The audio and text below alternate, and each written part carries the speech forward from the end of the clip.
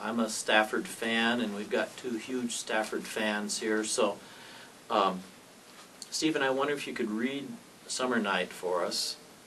Uh, and then, Jonathan, I wonder if you could just uh, tell us some about Stafford and why you think he's such an important poet, because I know you do think that.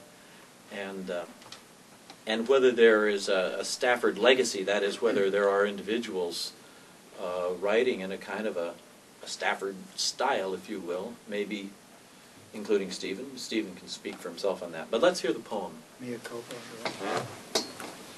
Summer Night for William Stafford.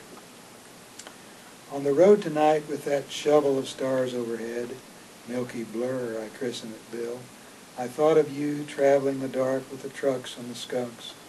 Near Abilene, a pale stain passed under my lights, apostrophe from some deer meeting fate in a confusion of headlights. And your poem whispered its steady purr over another recent killing. At two, past all disasters that did not happen tonight, I squat in a bath of breezes under my cottonwood. This to say, thousands of leaves believe in summer tonight, saying, Be true. You are. Adios.